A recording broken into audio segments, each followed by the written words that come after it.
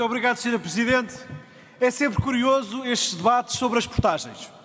Havia o deputado do Bloco de Esquerda a acusar o atual Secretário de Estado do Evolução do Interior de vir também ele falar do fim das portagens.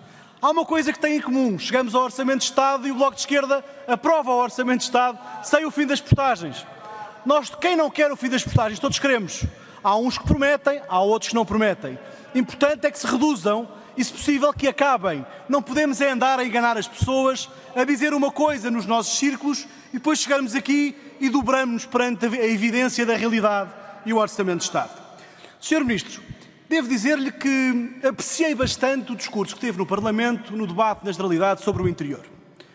Gostei daquilo que disse, gostei da sua intenção e, sobretudo, face ao peso político que tem neste governo, tenho alguma esperança.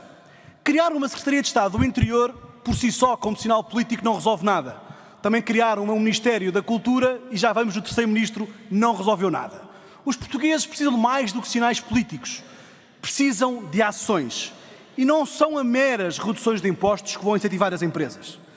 É preciso ter medidas drásticas para o interior e colocar emprego no interior. Não é só a falta de serviços públicos. Eles já lá existiam e as pessoas foram-se embora na mesma. Nós precisamos de emprego no interior.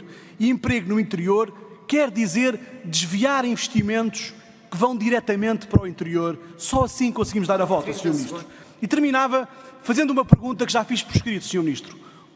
A estratégia do Governo dos projetos piloto da floresta que foram desenvolvidos ou supostamente desenvolvidos nas zonas ardidas o ano passado em Pedrógão, todos estão parados na prática. Eu pergunto ao Governo se está disponível, e sendo o Ministro adjunto também, para experimentar esses projetos em outros conselhos, tem uma cultura própria e disponível para isso, que possam querer receber e fazer uma experiência piloto em condições diferentes daquelas, Sr. Ministro. Muito Obrigada, obrigado.